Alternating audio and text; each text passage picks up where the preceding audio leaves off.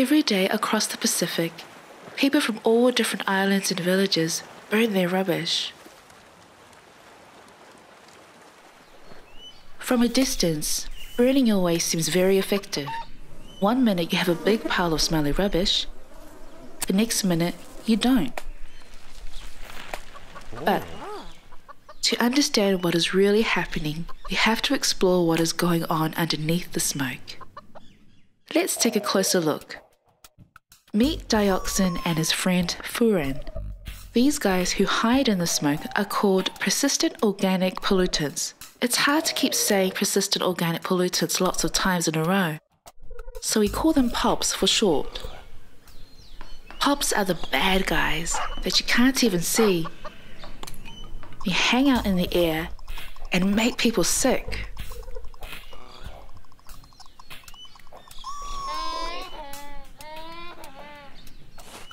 They can get into your body and make you sick. Oh, and they can swim too. And when they get into our rivers and oceans, they even make the plants and animals sick. So, what can we do to stop the pops? Well, for a start, you can change the way you look at waste. Instead of thinking about this as just one big pile of rubbish, you can think about it as all different types of waste. Your food scraps, grass clippings, leaves, and organic matter are all called organic waste. The great thing about organic waste is that it doesn't even have to be burned. It will go away all by itself. You can put it all in a pile somewhere where it won't bother anybody. When it breaks down over time, it makes your soil healthy and your plants will grow much better. Creating healthy soil from organic waste is called composting.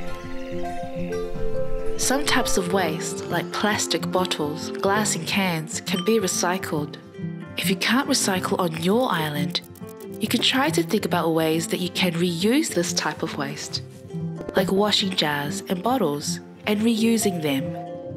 Once you start to separate your waste, you'll soon find that you actually have a lot less rubbish than before. Tell your friends and family about POPs, because when one person burns their rubbish, we all breathe it.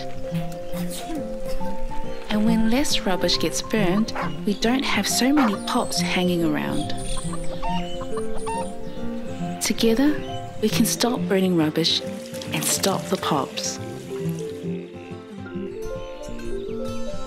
You can find out more by visiting www.sprep.org slash stop the pops.